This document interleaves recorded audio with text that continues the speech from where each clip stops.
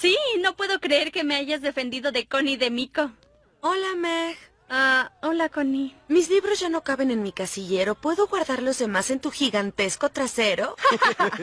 Hola, Connie, ¿cómo estás? Soy Peter Griffin, padre de Meg. Oye, ¿podrías hacerme un favor? ¿Ves ese extintor en la pared?